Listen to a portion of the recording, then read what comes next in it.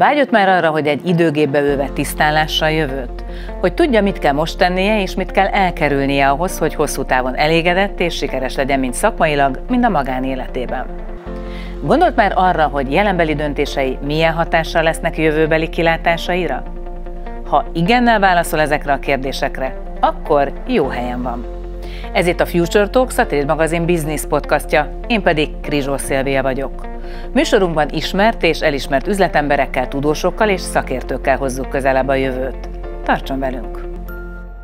A Future Talks vendége Illéns Fanni, paralimpiai bajnok, magyar úszó, világ és Európa bajnok egyben. Szia Fanni, örülök, hogy itt vagy. Szia!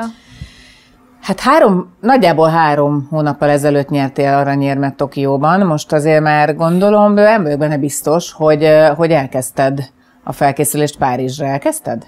Elkezdtük a felkészülést már november elején, november másodikán volt az első ilyen edzés, meg most sem mondanám ilyen erőseknek, napi egyszer úszunk, ugye a kettő helyet, de hát valahogy fel kell készíteni a testet arra, ami rávár, úgyhogy ez, ez így folyamatosan zajlik természetesen. Három hónap nem tudom mennyi idő, ahhoz, Kevés. hogy...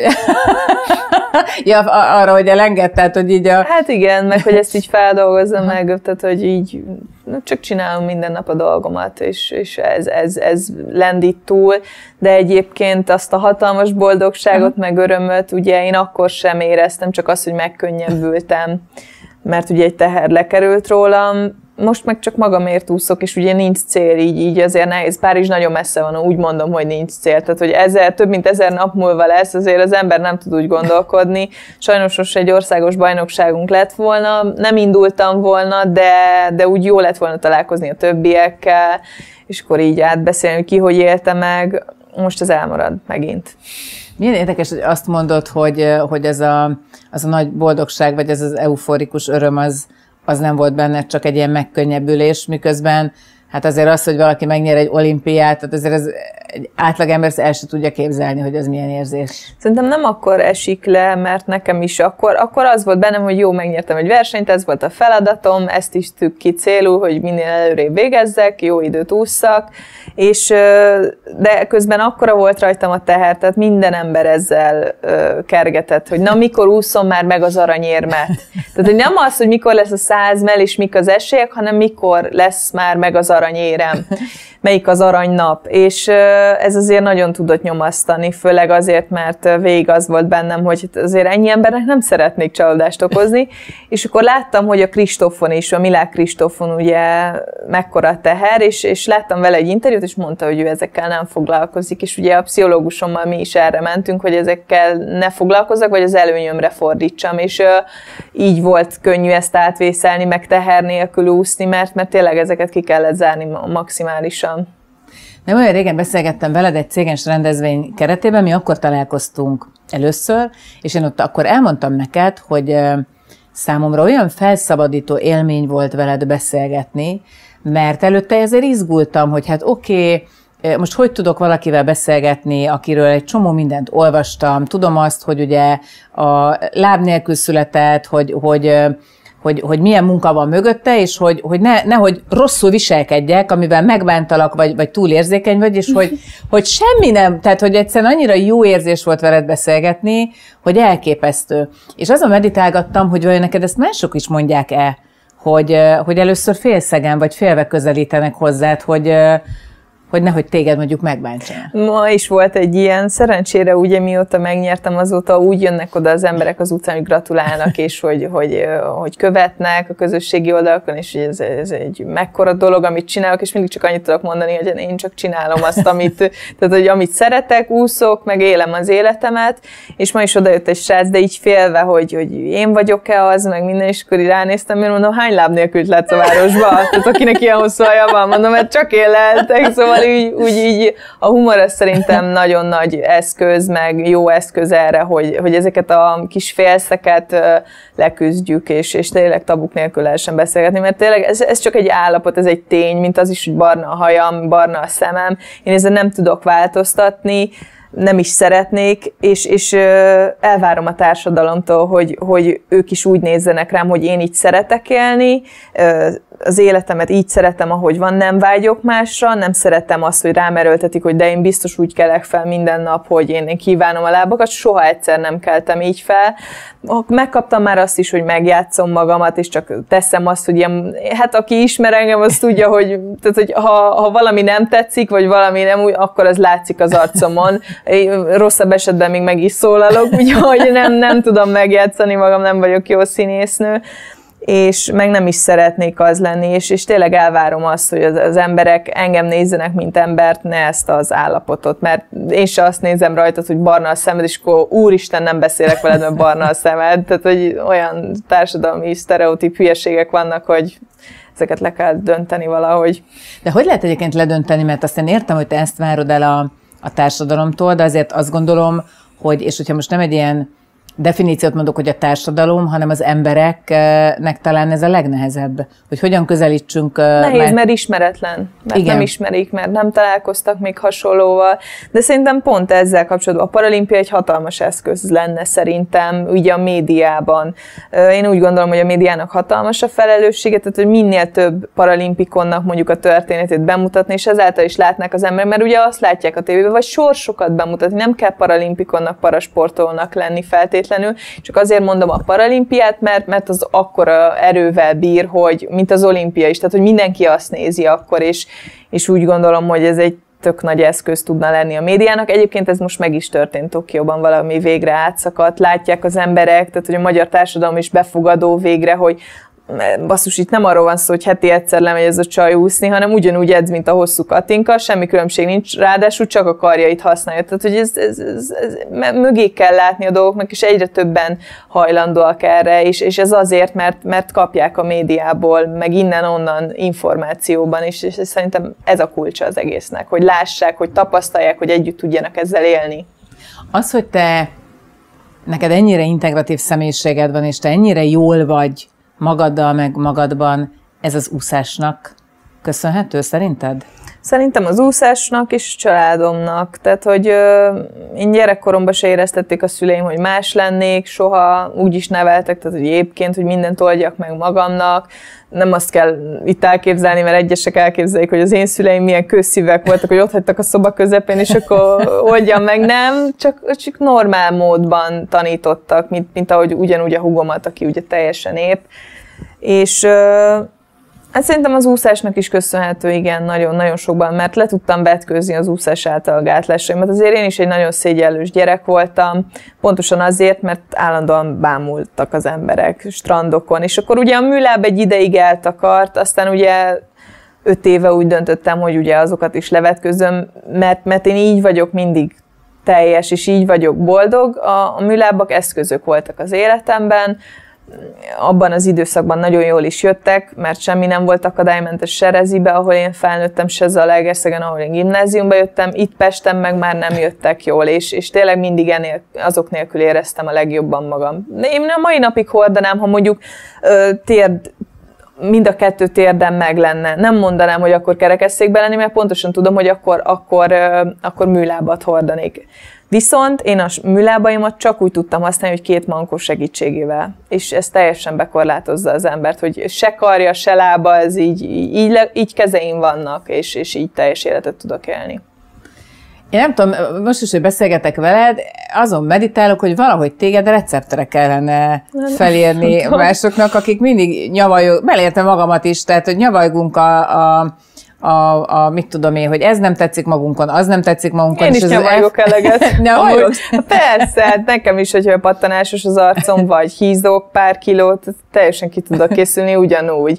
De igen, azért emlékeztetni kell szerintem a társadalmat arra, hogy főleg itt a Covid idején tényleg, hogy, hogy az egészség az mindenél többet ér. Én egy egészséges ember vagyok, nekem semmi problémám nincsen szerencsére. Az, hogy hiányoznak a lábaim, szerencsére így születtem. Tehát, hogy nekem, én, én, ezt, én nem tudom, milyen az, hogyha lenne lábam. Nincs, ami hiányozzon, és ez az, amit az emberek nem tudnak elfogadni velem kapcsolatban, vagy nagyon-nagyon nehezen. És ha már sikerül, akkor látják, hogy tényleg nekem aztán semmi nem gond. Elmeséled nekünk, hogy az hogy volt, amikor téged hazavittek a kórházba? Mert engem nagyon-nagyon megrázott, hogy, hogy igazából, ha már elfogadásról beszélünk, hogy a szüleidet tulajdonképpen le akarták rólad Persze. beszélni, és hogy milyen fontos, hogy ők a sarkukra álltak, álltak és, és, és nem engedték ezt. Igazság szerint, amikor én megszülettem, ugye császárral születtem, és mert farfekvéses voltam, és ugye anyukám úgy félig meddig altatásban is volt, és amikor megszülettem, halva születtem, ugye újraélesztettek, és de nem mutattak meg se anyukámnak, se apukámnak, hanem így elvittek. És miután anyukám magához tért ugye a korterembe, akkor közölte, közölte vele az orvos, hogy nekem nincsenek lábaim, és úgy hát újra is kell éleszteni, és úgy valószínűleg szellemileg sem lesz a kép, testileg se lehet, hogy nem tudom hány évig fogok élni, és hogy inkább adjon a körökbe, mert mint gyakorló apuka azt tanácsolja, hogy ő ne éljen ilyen korlátozott életet miattam, és hogy, hogy nekem is jobb lesz ott, ahol tudnak, tehát hogy ez a szakmája az embereknek tudnak rám vigyázni, és hogy ő megfelejtsen el engem. Tehát, hogy, és akkor anyukám ugye haza is ment a kórházból, ugye miután elengedték, ugye sebe miatt, és hát otthon azért ő eleget tipródott, meg elég nehéz időszak lehetett, én is csak elmesélés alapján tudom elmondani, és azt is tudom, hogy hát na, tényleg kemény időszak lehetett, hogy van egy kisbabád, nem is láthattad, és, és akkor azt mondja egy orvos, hogy add dörögbe, tehát, hogy ezek ilyen nehéz dolgok, hogy, hogy kvázi a fejed felett döntenek, és te neked, mintha nem lenne más választásod, mint elfogadni. Ez ugye ez ilyen kényszerhelyzet. És aztán mondta, ugye apukám titokba bejött meglátogatni, és a nagymamám is anyukámnak az anyukája. És ők már beszélték, hogy ez nem fog elmenni az örökbeadás útjára egyáltalán, meg hogy szerintük nincs velem egyáltalán baj, és a mamám pedzette fel a kérdést, hogy mi lenne, ha megkeresztelnénk ezt a kislányt ugye anyukámnak, és akkor anyukámból kibuktak a dolgok, elmondta, hogy hogy érzi magát, meg ő hogy van, és, és akkor úgy, úgy kvázi egyik reggel úgy kelt fel, hogy Tihamér, így hívják apukámat, összeszereled a kis ágyat, és hazahozzuk, lesz, ami lesz. És elmondta utólag, tehát hogyha neki egyből megmutatnak, akkor ez az egész kálvária nincsen, mert nincs az, aki, aki el tudna szakítani egy kisgyereket, hát nálunk ugye megcsinálták az édesanyjától. De ez, szóval igazából ilyenkor gondol az ember arra, hogy mekkora felelőssége van azoknak az orvosoknak, akik ilyet mondanak egy szülőnek, mert igazából tőled is elvették azt az első, nem tudom, egy-két hetet, amíg te ott voltál. Ami az egyik legfontosabb a... egyébként a kis babák számára. Nyilván minden fontos, de az, hogy a világra jössz, és az, hogy idegenek rakosgatnak jobbra-balra, mint az, hogy az édesanyádon vagy az édesapádon vagy, azért meghatározza az életet, és például nekem ez pszichológiába is előjött, amikor ugye tehát hogy készültem a versenyre, meg most is, és, és ezek, ezek a dolgok előjönnek, ezek a kötődéses dolgok, hogy, hogy nehezebben megy nálam, és lehet, hogy emiatt, de hát lehet, hogy nem emiatt, ki tudja.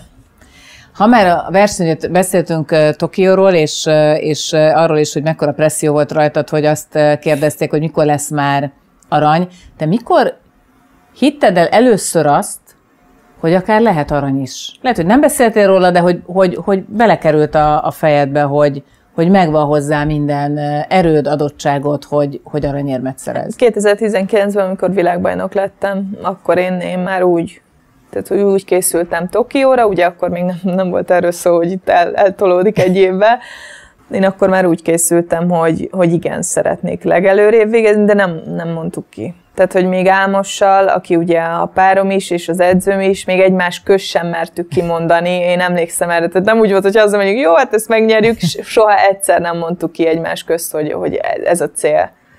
De ez volt a cél.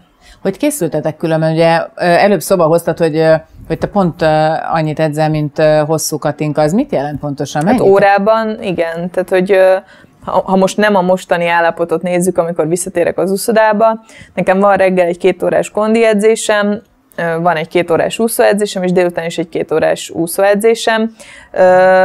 Ez, ez, ez hat óra. Nyilván ebben benne van az, hogy, hogy nekem azért regenerálódnom kell napközben, nem vagyok mai csirke, én is már 30 éves leszek jövőre. Azért megérzi az ember, akkor el kell járnom gyógytornára, pszichológushoz, és egy nagyon komoly étrendet kell tartanom, hogy ne hízzak meg mert nagyon hízékony vagyok. És hát ez egy ilyen 0-24 órás elfoglaltság egyébként, a fizikai munka az 6 6-6 és fél, valamikor alapozó időszakban 7 óra is szokott lenni, tehát nagyon-nagyon sokat edzünk. Kilométerben ez úgy néz ki, hogy nyilván az időszakoktól függ, hogy milyen közel vagyunk a főversenyhez, mert akkor kevesebbet szoktunk előtte úszni, már, hogy frissüljünk és gyorsuljunk, de alapozó időszakban, ami most következik, azért a 12 is becsúszott már a napi 12 kilométer. Az rengeteg. Hát az, az, az még kimondani is. Van, ami, van, amikor épek se úsznak annyit. Tehát, hogy amikor a Verasztó Dávid ugye mellettünk edzett nagyon sokáig, és oda szólt, hogy minek úsztok ennyit, te jó Isten! Tehát akkor már én is elgondolkodtam, mert ő egy nagyon-nagyon dolgos és nagyon szorgalmas, és tehát, hogy nála többet dolgozni tényleg nem láttam embert. És amikor ő oda szól, hogy hát ez, ez nagyon sok, akkor úgy elgondolkodsz, hogy igen, lehet, hogy ez egy beteg adag már. De ezt te erőlteted, vagy álmos? Ez, ez meg van beszélve, minden meg van beszélve, hogy kinek hogy van. Én nagyon szeretek nagyon sokat úszni. Én, ebb, én a munkában hiszek, nem abban, hogy otthon ülünk, és akkor várjuk, hogy valami legyen. Te is az mekkora fegyelmezettséget igényel, hogy folyamatosan figyeld az étrendedet, mert azt mondtad, hogy hízékony vagy, tehát, hogy mert az ember azt mondja, hogy jó, hát szeret úszni, leúszza azt a 12 kilométert, de, de hogy állandóan azt figyelni, hogy akkor mit teszem, mennyit teszem belőle. Szerintem ez csak úgy megy, hogyha átállsz egy, egy, egy életformára. Én, akik ismernek, tudják, hogy én élek halok az édességért, a csokiért, hát ezekről le kellett szoknom, legalábbis olyanokat választottam már, ami cukormentes, és akkor megvan, hogy mikor ehetem, tehát hogy edzések után mennyivel ehetem, megvan, hogy edzés után, edzés előtt mit kell lennem, vacsorára mit tehetek, szóval, és akkor egy idő után rááll az ember, és azt veszem, én azt vettem észre magamon, hogy ahogy így átálltam erre, ebben az életmódváltásban erre az egészségesebb dolgokra, a salátára, utáltam a salátát, tehát meg kellett erőszakolni, hogy megegyem ezeket, és, és valahogy adtam neki egy hónapot, és teljesen átállt a rendszerem, és azt vettem észre, hogy már így sokkal frissebb voltam. Tehát, hogy amikor aludtam, mondjuk kevesebbet tudtam aludni, akkor is sokkal jobban bírtam az edzéseket, jobb kedvem volt, és, és tényleg olyan energikus voltam, ami előtte soha hiába aludtam 12 órát mondjuk egy hétvégén. És, és ezt tapasztaltam a felkészülés közben is, hogy amikor hétvégén mondjuk vasárnap elengedtem egy kicsit magamat, akkor már hétfőn neccesebben keltem, viszont hétfőről kedre, ami elvileg fárasztóbb már, ott meg már frissebb voltam. Ezek az én kis ilyen megfigyeléseim, de százszerzalékosan hiszek az étrendben, meg ebben az egészséges életmódban. Úgyhogy nem volt nehéz átállni nekem. Mindenben tudatos vagy? Próbálok az élet minden területén tudatos lenni, igen. Párizsra az teljesen biztos, hogy mész? Tehát ez, azt eldöntötted, hogy a Párizs olimpia neked ott a helyed? Igen, én, én úgy gondolom, hogy ezt eldöntöttük Álmosra, hogy ez nem csak az én döntésem, az övé is, Nyilván a, a legnehezebb, ahogy ugye az elején is mondtam, hogy most a célokat megtalálni. Jövőre egy világbajnokság van, tehát hogy fel kell pörgetni újra, mert, mert mi, mi, meg én hiszek abban, hogy, hogy ha történik velünk egy rossz, akkor ugye azt szokták tanácsolni, hogy, hogy te legyünk túl rajta, és tegyünk tegyünk úgy, mint nem az, hogy nem történt volna meg, de éljük tovább az életünket. Én ugyanígy vagyok a jóval is. Megtörtént a jó, nem szabad abban a mámorban meghagyni. Ez, ez ugyanúgy megtörtént, mint a rossz is. Menni kell tovább az életnek, nem szabad abban bent ragadni, abban az állapotban. Na jó, de azért képes hogy arra, hogy ünnepeljél, szóval azért tényleg könyörgöm, olimpiai bajnok lettél, tehát hogy azért a, a sikereidet, azokat meg tudod ott ne, akkor ünnepel? De általában így tudomásul veszem csak a dolgokat, de, de igen, meg, meg tudom, meg, meg főleg akkor, hogyha amikor láttam a családomat, hogy hogy reagáltak, nekem ezek, ezek jól estek, és ezek, ezek jelentették azt, hogy ez egy aranyérem lett, nem, nem az, hogy tehát, hogy, hogy megnyertem egy futamot. Ugye nekem, amikor leesett ez az egész, nem a futam után volt rögtön, hanem amikor a nyakamba vettem az érmet, meg amikor be, bemondták, hogy, hogy én vagyok a paralimpiai bajnok, és akkor tényleg lepergett a, a sok rossz, amit kaptam emberektől, a sok lemondást, hogy, hogy egyrészt emberek lemondtak rólam, és azt mondták, hogy soha nem lesz belőlem semmi, és hagyjam az egészet, illetve az is, amit én lemondtam. Tehát, hogy én sose jártam bulizni, én nem iszok alkoholt, én, én, nekem, én ennek szentelem az életemet, mert, mert ez a legfontosabb azt, hogy lemondtak rólad emberek, hogy soha nem lesz belőled senki, ebből azért tudtál például meríteni, csak azért is megmutatom, Dafke? Én ilyen vagyok. nem tudják, de lehet, hogy ez az egyik titkom, hogy, hogy ugye gyerekkoromban is lemondtak rólam, és, és mindig lemondanak, mert, mert ahogy meglátják ezt az állapotot, azt mondja, ah, képtelen vagyok bármire is az, arra, hogy, hogy egyedül éljek, vagy lélegezzek, és én szeretek erre rákontrázni, hogy ez nem így van, és bebizonyítani, hogy ez nem így van, mert, mert feldühít az, amikor így gondolkodik valaki rólam, vagy bármilyen fogyatékkal élő társamról. Ezért is érezted annak szükségét, hogy csinálj egy alapítványt, ahol azokat támogatod, ahol szintén fogyatékkal élő paralimpiai sportolók és családjuk kap tőletek támogatást? Ez az alapítvány miattam lett létrehozva, mert az elején a szüleim uh, uh, szponzoráltak mindent, és ez azért anyagilag elég megterheli a családot, főleg amikor mondjuk el kell utazni uh, bármilyen külföldi versenyre, mondjuk Sheffieldre, Sheffieldbe, és uh, egy versenyre szára nem kell bemutatnom 100 ezer forint, és uh, miután úgy alakult az életem, hogy világbajnok lettem, és végre meg tudtam élni abból, amit, amit uh, dolgozok, tehát hogy az úszásból tudok megélni, nem akartuk beszüntetni ezt az alapítványt, megtartottuk, és uh, ami arra jössz, jön összeg, azt én odaadom általában, tehát veszek vagy versenyre ezt a társaimnak, volt már ilyen, vagy ha valakinek edzőtáborra lenne szükség, akkor azt szponzorálnám, tehát hogy így, így gondolkodok természetesen a vasason belül, mert én is azért haza szoktam beszélni, és, és én abban, abban a műhelyben hiszek.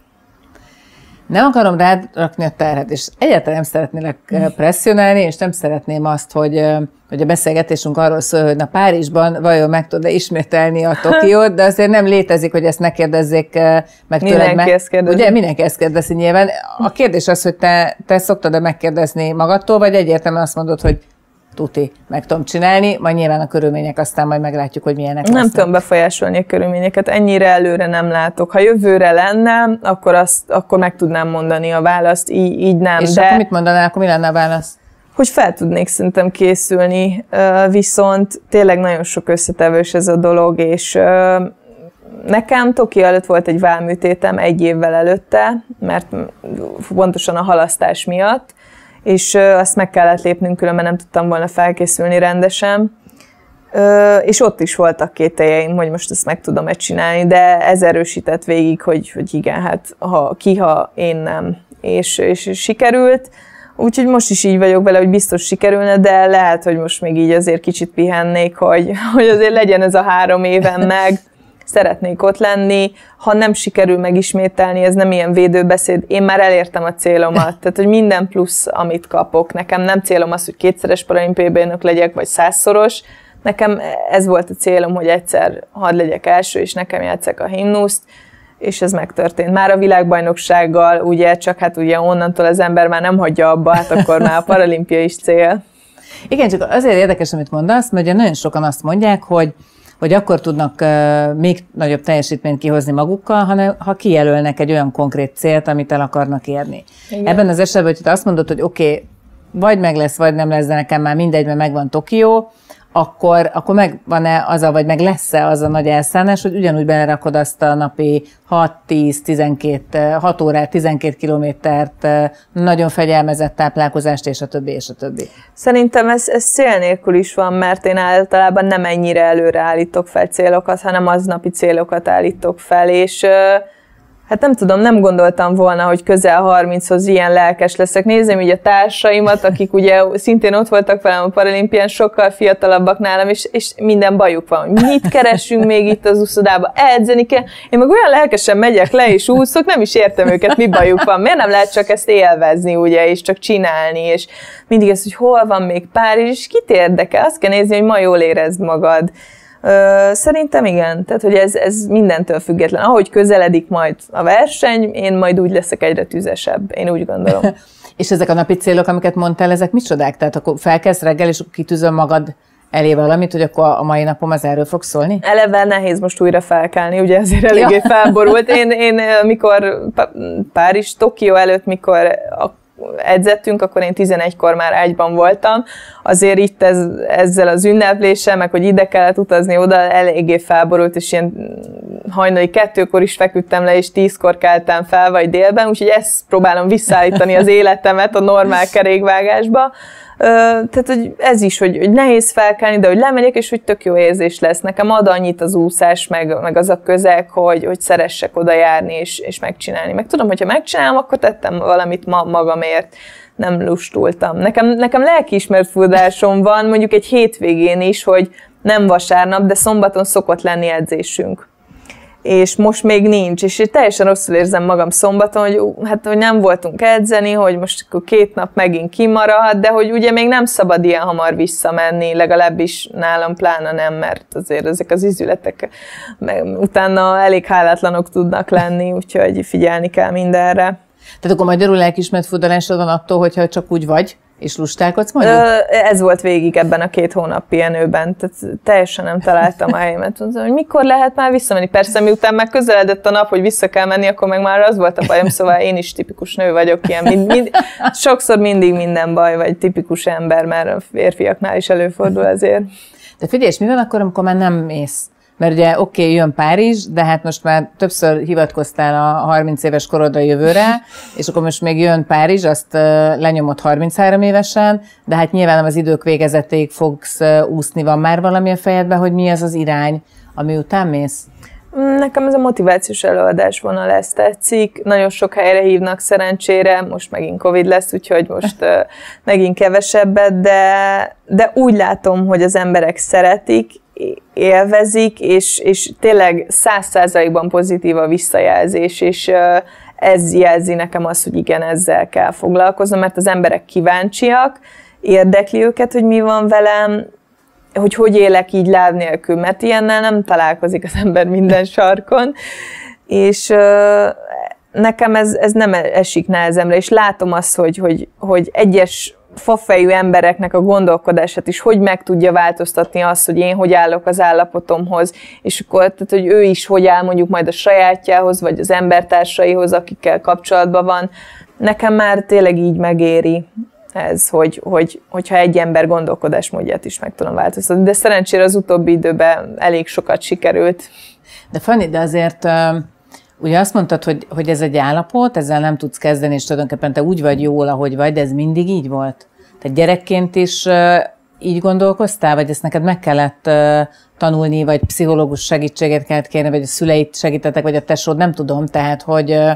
Um, amikor rossz kedvem volt, az általában azért volt, mert mondjuk elmentünk egy strandra, és nagyon megbámultak az emberek, tehát hogy mind, mindig a társadalom miatt, akik nem láttak még hasonlót, tehát hogy a, te, a, a, akik, a családom, akikkel együtt élek, ők, ők így fogadnak el, ahogy vagyok, és olyan jó lenne, ha ez, ez, ez mindenki így lenne vele. Nyilván ez, ez egy szép vágyálom, de azért szeretném, ha felé menne a világ, hogy ne csodálkozzanak rám.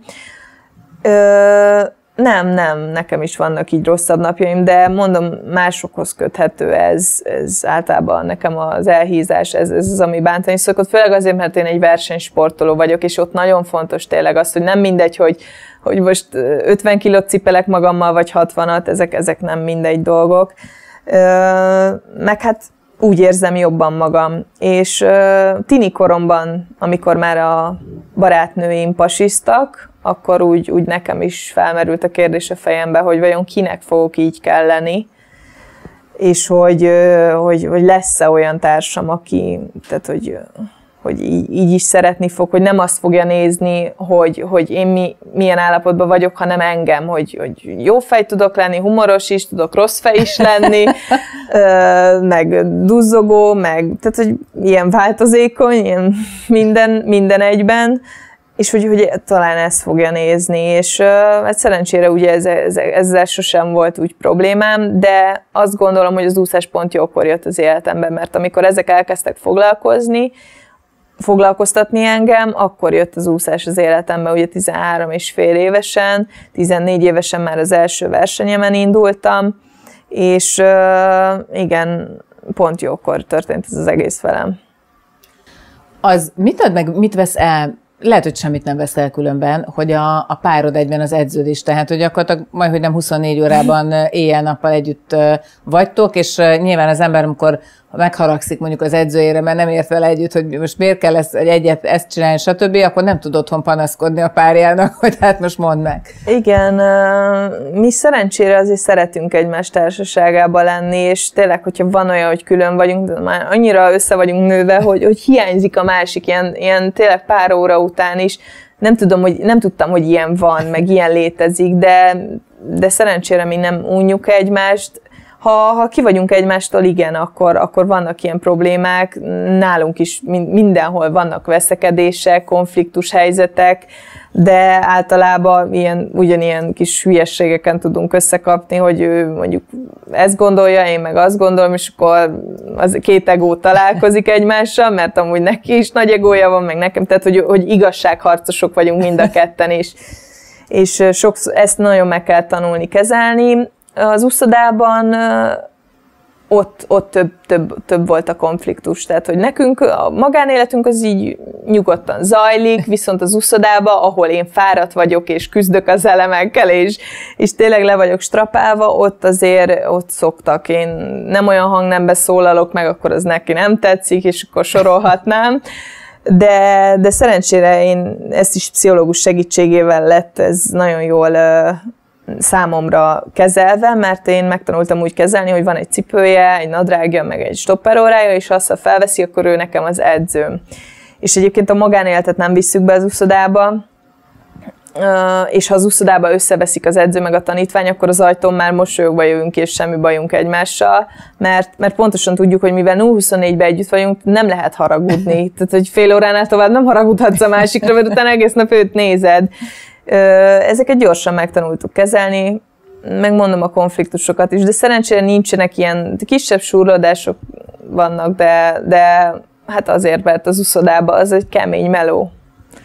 Most azon gondolkoztam, hogy vajon meddig lehet ez a felállás. Ugye Párizs, azt előbb beszéltük, ott azért 33 éves leszel, azt, az benne van a fejedben, hogy, hogy mi ez a korhatár, ameddig még úgy érzed, hogy, hogy érdemes Nincs. úszni, nincsen? Tehát, hogy ez... Nincs. Konkurencia határoz meg. Igen? Tehát, hogyha már ilyen nem jutok, ér, nem tudok éremér úszni, akkor nincs értelme folytatnom, de most lehet, hogy 35 évesen is még tudok úszni éremér, akkor, akkor én ott leszek, mert én nem látom a végét ennek. Meg, tehát, hogy egy sportolónak az idő a legnagyobb ellensége, mint a medencében, és mind, mind a szárazföldön, mert, mert megy, megy az életünk, és, és a szervezetünk is egyre, hát egyre jobban nem bírja a strapát, de én, én még úgy érzem, hogy nagyon bírom, úgyhogy még szerencsés vagyok. De hogy látod egyébként a versenysport jövőjét? Akár a paralimpiai úszásra, tehát arra nyilván nagyobb rálátásod van, de akár a, a mondjuk az épek úszására. Szerintem mi... mindig van jövője Aha. ennek, tehát hogy olyan stabilan, de minden ember verseng a másikkal. Nem kell el sportolónak lenni, hogy biztos te is versengesz, mert mondjuk valakit látsz, mit tudom én, hogy milyen a haja, vagy ne, tehát hogy mindig versengünk egymással, hogy, hogy nekem a Facebook képem jobb legyen, mint tehát, hogy ilyen, ilyen hülyeségeken is, de hogy az emberek alapvetően így vannak beállítva, hogy jobb legyenek, mint a másik, és így. Aki, aki meg nyilván nem, ő, tehát hogy ő elfogadja az állapotát úgy, ahogy van. De én is olyan típus vagyok, hogy csak előre, mindig, mindig előre, visszafelé ne. Miben változott különben a paralimpiai úszás ahhoz képest, amikor elkezdted? Van valami, amiben változott a, a, az edzés módszertan, vagy akár táplálkozás tudományi ismereteknek a beépítése? Tehát, hogy mi, mi az, a ami a leginkább... Te... Igen? Én, én abban látom a legnagyobb kiúre. Tehát, hogy én úgy, úgy tudtam megújulni, hogy, hogy ezeket betartottam, amit a dietetikusom Utasi Dominika előírt, mert ö, ebben olyan robbanásszerű fejlődést tapasztaltam, hogy, hogy ahogy ugye az elején is mondtam, hogy sokkal frissebb lettem, tehát jobban bírom néha, mint a, a 10 évvel, 12 évvel fiatalabbak nálam, mert, mert figyelek, és, és megéri ebben mindenképp. Hát a paraúszásban ugye a legnagyobb változás, ami történt itt Magyarországon, hogy végre tudják az emberek, hogy van ilyen. Igen, és akkor, tehát, hogy így, így nyilván, ahogy egyre több a támogatás, ugye egyre több versenyre eljutsz, egyre népszerűbb, ezeket tapasztalom én. Tehát, hogy közelít az épekéhez, és, és ez nagyon jó dolog. Előbb szóba hoztad a motivációs előadást, és az, hogy, hogy nem csak egy embernek, hanem sokkal többnek tudsz segíteni egyrészt a saját történeteddel, meg a saját mentalitásoddal. Mi ez? Gondolom, hogy ilyenkor van olyan, hogy, hogy visszajeleznek valamit, hogy kik milyen problémákkal küzdenek, vagy miben tudtál adott esetben segítséget vagy támogatást adni. Mi az, ami a leggyakoribban, vagy leggyakrabban előfordul emberek között, hogy, hogy várnak valakit, akitől meghallják, és na ezt akkor át tudom fordítani a saját életemre. Amit a legtöbbször szoktam hallani, az az, hogy nagyon motiválja őket, hogy így is lehet élni, és hogy, hogy, tehát, hogy ha én így ugyanazokat tudom csinálni, és ugyanazokkal a problémákkal meg tudok küzdeni, sőt számukra nagyobb az, hogy ugye mondjuk kerekesszékkel lejutni egy uszodába, vagy mondanom se kell, hogy az lépcsőn nem lehet felmenni kerekesszékkel, és hogyha én ezeken így túl tudok lendülni, akkor ők is az életükben ilyen hülye do- kis dolgokon túl tudnak lendülni, és, és e- ezt szokták mondani, hogy mint amit te is mondtad előbb, hogy nem kell a problémákkal foglalkozni, hogy mi generáljuk a problémákat sokszor. Olyan érdekes, mert ezt már múltkor is mondtam neked, és most is azt érzem, hogy bár arról beszélünk, hogy még csak 29 éves vagy, de valami olyan bölcsesség van, van benned, hogyha ha nem tudnám, hogy egy 29 éves fiatal csajű velem szemben, hanem becsuknám a szememet, akkor akár azt is mondanám, hogy Hát ez 50-60 éves nő, akinek már olyan élettapasztalata van, hogy ez elképesztő. Ez Nem honnan tudom. jön? Fogalmam sincs. Hát talán azért, mert én, én azért gyerekkoromtól kezdve olyan nehéz szituációkat tapasztalok, főleg a társadalom által, amik azért erre késztetnek, hogy én azért készen legyek mindenféle helyzetre, meg most ez így után fog hangzani, de hogy, hogy például nekem, ha bejövök ide egy épületbe, arra is fejbe fel kell készülnöm százezer módon, hogyha nem akadálymentes, akkor. Tehát, hogy ezek is annyira megtanítanak az életre, meg az úszás is annyira az életre teremt, meg ezek a szituációk, hogy talán, talán ebből jöhet. De én is például, nekem is ez az érzésem, mikor a Cselacival hallgatok interjút, hogy olyan, mintha egy, egy nagyon idős emberrel hallgatnám, mert hogy olyan, mintha ezer éves lenne, és olyan tapasztalatai vannak közben, meg egy fiatal srácról beszélünk, de annyi minden mindent megélsz a sporttal, ez az utazások, az emberek, az, hogy hogy bánnak a társaid, a veszekedések, tehát a rivalizálások, a, a, ez az alárendelődés ugye az edződnek folyamatosan, meg az, hogy minden egyes másodpercért meg kell küzdened, hogy, hogy ezek nagyon megtanítanak az életre. Az nem is vetődött föl benned, hogy ha befejezette a versenyt, akkor mondjuk edzőként folytasd? Van edzői oké és végzettségem. Mm, nem nem, lehet, nem tudom, én, én nem szeretnék így, én, én ezt nem bírnám idegileg. Ez ugye Álmosnak olyan türelme van hozzánk, hogy én, én szerintem ilyen rossz edző lennék, azt meg nem kívánom senkinek, mert ha rossz arc vagyok, akkor tényleg az vagyok. Tényleg? Igen, és, és azt nem kívánom senkinek. Jó, jó ez így nekem. Én, én csak erre születtem, hogy versenyző legyek, akkor biztos, hogy meg fogom találni az életemben azt, hogy, hogy miben verseny, versenghetek másban, de ezt, ezt így, így el tudom engedni. Én nem, nem akarok főnök lenni. Előbb úgy fogalmaztál, hogy napi céljaid vannak, tehát hogy ezért a nagyon hosszú távra nem tervezed, de mondjuk öt év távlatában, hogyha mondjuk öt év múlva hívnálak ide meg, akkor már túl vagy egy párizsi Igen, olimpián. de akkor már tudjuk... édesanyja is vagyok. Igen. Akkor már édesanyja is vagy? Igen, öt év múlva már bőven. Bőven?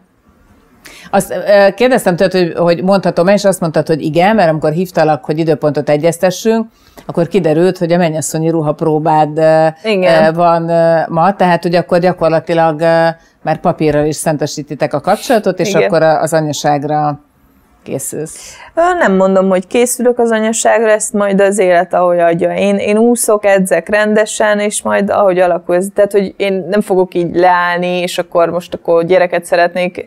Nem, ez, ez így, ha jön, jön, ha nem, nem. Van, és szerinted te, lehet, hogy ez hülyén hangzik, de hogy mégis te milyen anya leszel? Mert ugye előbb úgy fogalmaztál, hogy a Tudatos. szülei... Tudatos? Persze. Ugyanolyan, mint a szüleim, tehát ők is tudatosan neveltek minket, nyitottan, tehát hogy mai napig úgy beszélek a szüleimmel, mint hogyha a barátaim lennének, a legjobb barátaim, mert, mert köztünk ilyen jó a kapcsolat szerencsére, és a mi négyesünk ugye a hugommal együtt nagyon erős tud lenni, meg az is, és, és ezt, ezt szeretném, azt hogy, azt, hogy tudja, hogy tudják, vagy tudja, hogy számíthat rám. Én, tehát, hogy én nem akarok ilyen nagyon szigorú lenni. Tudom, hogy ezt majd az élet hozza. Vannak, szerintem minden nőnek vannak a fejébe gondolatok, hogy milyen szeretne lenni. Következetes és tudatos szeretnék lenni. Ezt, ezt biztosan tudom, hogy, hogy mindig kellenek célok. A gyereknek is. nem, én pont azért kérdeztem, hogy előbb úgy fogalmaztál, hogy hát egyáltalán voltak közszívőek a szüleit, de mégis ők arra kényszerítettek téged, hogy mindent oldjál meg egymagadban, és tulajdonképpen ezzel tették a legjobbat, és ugye az volt bennem, hogy hát te látod azért, hogy a, abba, abba mennyi veríték van, meg, meg mennyi belepakolt munkaóra, hogy az ember egyedül meg tudjon egy csomó mindent oldani, és hogy vajon a gyereked esetében te tudsz-e ennyire tudatos lenni? Remélem, ez majd egy új életszituáció lesz. Én, én így igyekszem. Azt tudom, hogy a medeceparton fog felnőni, mert tehát, hogy tudom, hogy ha megszületne, én nem szeretném miatt abba hagyni az úszást. Én pontosan azt szeretném, hogy ő is ebben szocializálódjon, és, és érezze azt, hogy ez egy, tehát, hogy egy erő, a, erőt képviselünk az apjával is, tehát, hogy majd meglátjuk, hogy hogy hozza az élet, nem tudom. Nagyon örülök, hogy itt voltál, és nagyon bízom abban, hogy, hogy ezt nagyon sokan látták és hallgatták, és hogy ugyanaz a benyomásuk veled kapcsolatban, mint nekem, hogy annyi mindent lehet tanulni tőled, és, és olyan sok mindent el lehet vinni, úgyhogy gratulálok. Köszönöm szépen. Már a, majd ahhoz, hogyha bekötik a, a, a, fejedet, és hát tényleg nagyon drukkolok, hogy, hogy akkor vissza tudjál találni a, a, ahhoz az edzéstervhez, ami, amihez már lassan szeretnél odaérni, Igen. és tényleg bízom benne, hogy azért Párizs után is tudunk beszélgetni, és teljesen mindegy, hogy, hogy milyen Formában. érem el a, igen, igen, a nyakad, és mondjuk lehet, hogy hogyha akkor már hozod a kisbabát, akkor még a gyereknevelésre is csacsogunk egy kicsit. Meglátjuk, köszönöm szépen a meghívást. Én köszönöm még egyszer.